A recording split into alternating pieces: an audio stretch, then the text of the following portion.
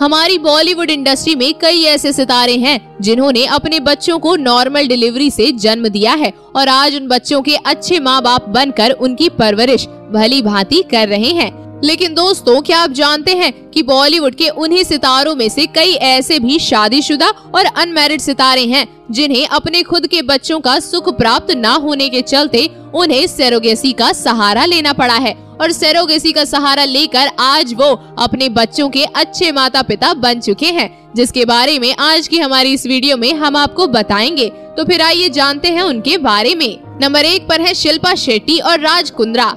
इस लिस्ट में पहला नाम शुमार होता है बॉलीवुड की फिट एक्ट्रेस शिल्पा शेट्टी और उनके पति राज कुंद्रा का। जी हाँ इनकी बेटी शमिशा का जन्म सेरोगेसी से हुआ है, जिसकी खबर शिल्पा ने खुद ही सोशल मीडिया के ज़रिए दी है। और जैसे ही ये खबर सामने आई तो फैंस काफ़ी हैरान रह गए। दरअसल शिल्पा नॉर्मल डिलीवरी से माँ बन नहीं पा रही थी, इसी वजह से उन्होंने सेरोगेसी का सहारा लिया। नंबर दो पर है प्रीति जिंटा और जेने गुड इनफ बॉलीवुड की डिम्पल गर्ल यानी प्रीति जिंटा और उनके हस्बैंड जेने ने साल 2016 में एक दूसरे से शादी की थी और करीब पाँच साल तक दोनों ने बेबी प्लानिंग नहीं की। पर जब दोनों ने बेबी की प्लानिंग की तो किसी वजह से प्रीति जिंटा माँ नहीं बन पाई, जिसके बाद उन्होंने सेरोगेसी के ज़रिए माँ बनने का विचार बनाया और हाल ही में वो दो जुड़वा बच्चों की माँ बनी है। नंबर तीन पर है शाहरुख खान और गौरी खान।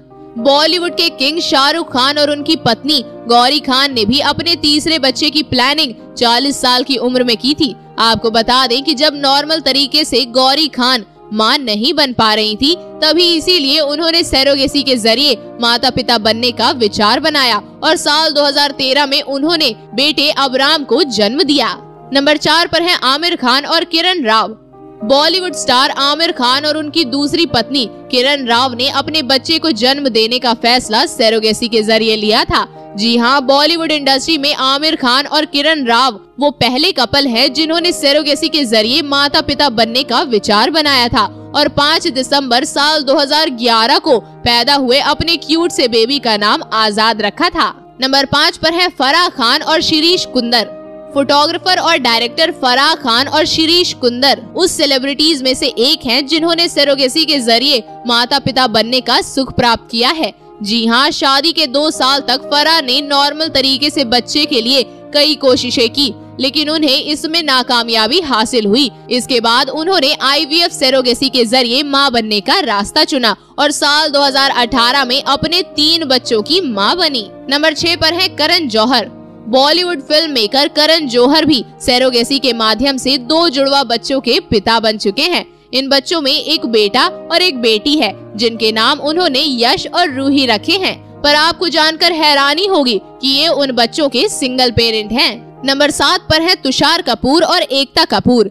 जी हाँ दोस्तों, साल 2016 में एक्टर तुषार कपूर के सिंगल पेरेंट बनने की खबर ने सबको चौंका दिया था। अनमैरिड तुषार कपूर ने अपने बेटे का नाम लक्ष्य रखा है। तो वही उनकी बहन प्रोड्यूसर एकता कपूर ने भी अनमेरिड होकर सेरोगेसी के ज़रिए अपने बच्चे की माँ बनने का सुख प्राप्त किया है। नंबर आठ पर है सनी लियोन और डेनियल वेबर।